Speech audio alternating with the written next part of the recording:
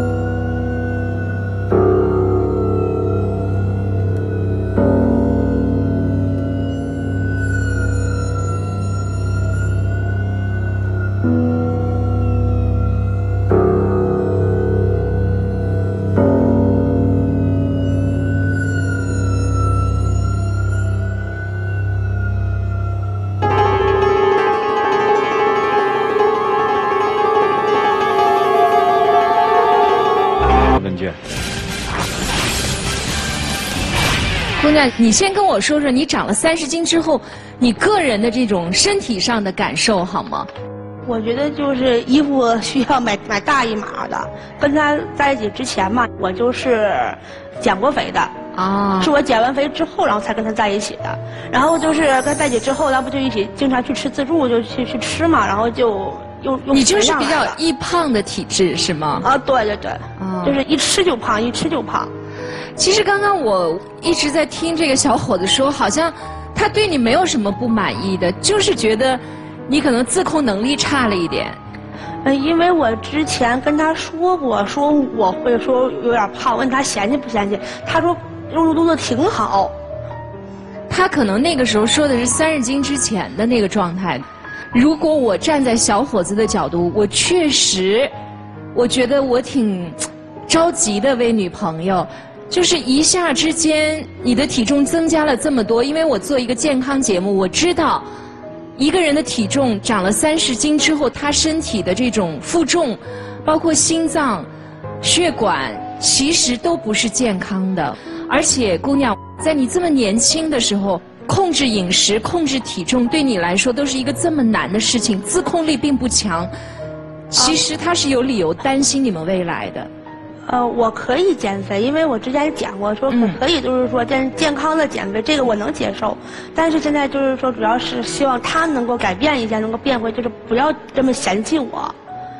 我感觉在心中没有我了。你你可以把它先放在一边。你对你的体重的增长，你有一点难过，或者是觉得嗯有。有是吗？对。你既然有这个想法，你为什么不从自己先开始做呢？让自己慢慢的减下来，科学的、健康的，用你自己的意志力，然后慢慢的把自己的体重降下来，到一个健康的、合理的范畴之内，然后你再去考虑他的态度。过多的把自己的这种快乐、幸福建立在对方的这种情感上，我觉得不是一个健康的心态。所以，姑娘，不要管别人怎么做。你的太多的幸福需求，你的个人的这种快乐，都建立在别人的身上了。你先想你自己，而且你所做的每一步，似乎让人觉得你很着急要把自己嫁出去。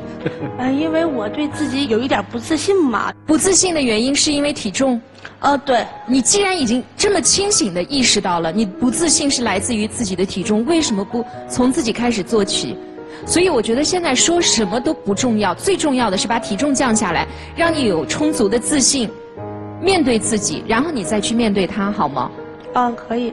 好，看你的了。嗯。好，谢谢朱军老师。教育孩子一定要讲究方法。十二岁到十八岁的孩子，给他看这十本书，他会越来越棒。他会放下手机，不再拖延，不再叛逆，结果超出你的想象。第一本，你不努力。谁也给不了你想要的生活。第二本，将来的你一定会感谢现在拼命的自己。第三本，余生很贵，请勿浪费。第四本，别在吃苦的年纪选择安逸。第五本，你的努力终将成就更好的自己。第六本，别在该动脑子的时候动感情。第七本，世界那么大，我想去看看。